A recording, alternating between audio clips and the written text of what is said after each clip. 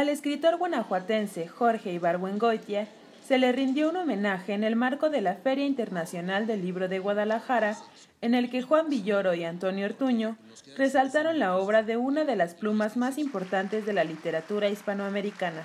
En lo que los escritores llamaron tertulia y como parte de las celebraciones por el 90 aniversario del nacimiento de Ibargüengoitia, se habló de los inicios de este irreverente autor mexicano, quien se caracterizó por su alto sentido del humor sarcástico, satírico e irónico. Eran, eran ese tipo de, situaciones, de tensiones que él establecía. Y entonces sí, el humor de Ibargüengoitia, y, lo dijiste tú también, tiene que ver con eh, un mundo que te irrita, y que te reconcilias críticamente con él. ¿Por qué? Y que es una, parece una paradoja, porque te reconcilias, pero no dejas de criticarlo. O sea, sabes que todo es un desastre y sin embargo te diviertes con ese desastre. Él tenía una tía que tiene un lema fantástico que me parece que resume la ética de Ibargüengoitia, que dice, la vida quiso que yo fuera desgraciada, pero no me dio la gana.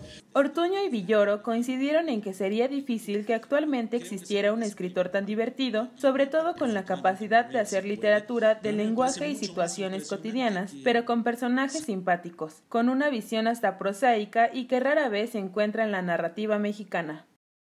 Por ejemplo, en algún momento España habla del escalofrío que siente cuando se juntan dos españoles porque dice se van a poner a cantar en cualquier momento. Y yo no quiero estar ahí cuando suceda, ¿no? Y siempre tiene esta capacidad que a mí me parece fascinante de dar dos o tres pasos al costado. Con información de Lucía Lizárraga e imágenes de Víctor Barbosa, Notimex.